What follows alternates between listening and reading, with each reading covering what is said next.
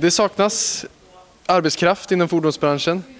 Eh, vi har precis haft ett seminarium om det, men kan du kort berätta vad du tycker att branschen bör göra och vad utbildningsväsendet bör göra? Jag tror att det finns eh, en huvudsvar, det är samverkan och det är det som vi behöver göra. Vi har fungerande programråd lokalt där branschen tar ett väldigt stort ansvar där det fungerar väldigt bra. Men vi behöver också förutsättningarna från kommuner och statligt där de ekonomiska förutsättningarna men också kvalitetskraven är de samma. Och det behöver vi jobba vidare med. Men jag ser att branschen, inklusive försäkringsbranschen faktiskt, hjälps åt här nu för att lösa problematiken där det är dyra utbildningar.